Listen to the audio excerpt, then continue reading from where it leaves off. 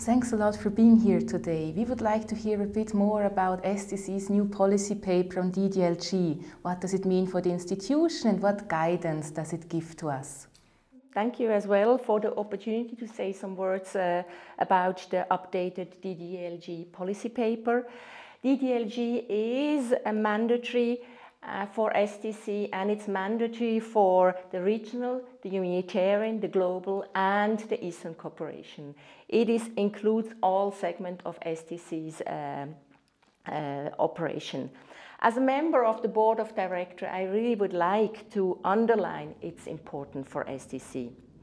DDLG is a major goal in the still valid um, framework message to the parliament and will be also a major uh, goal in the coming one. Back to the document in front of us. How will it be applied within SDC, at head office, at field level? The policy paper as it is now defined is a light document B. What does that mean? SDC has several policy papers which defines that its status, uh, its status makes it compulsory. That means it is a compulsory document which is for all of our operation uh, guiding. SDC invests one third of its development fund in governance work. This sends a strong message both to us and our partners and also gives us a certain responsibility. A lot of Switzerland's contribution go to our partners' countries' reform process and will depend on the results of our governance work. And our work on governance can only be successful if we acknowledge that governance is inherently political. And our new policy paper is based on exactly that understanding.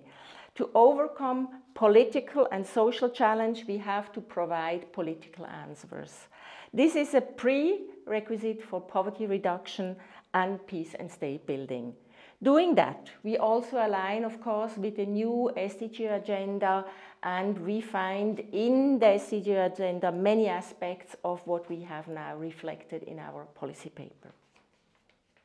In terms of the scope of the document, what does it aim to deliver?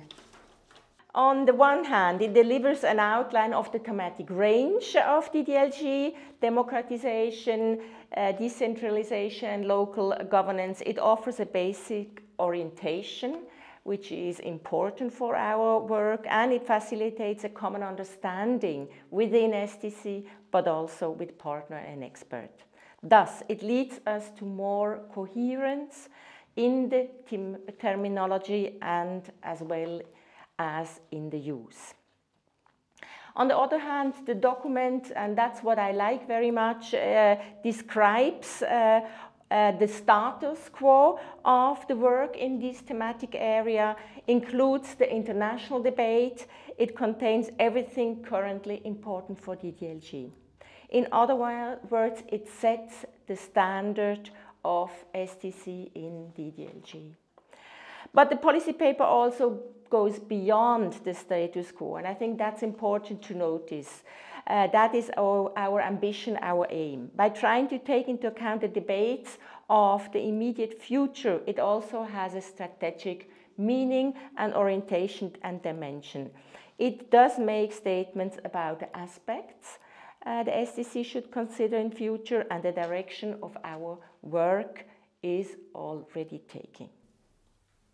Thanks a lot, Elisabeth, for this interview.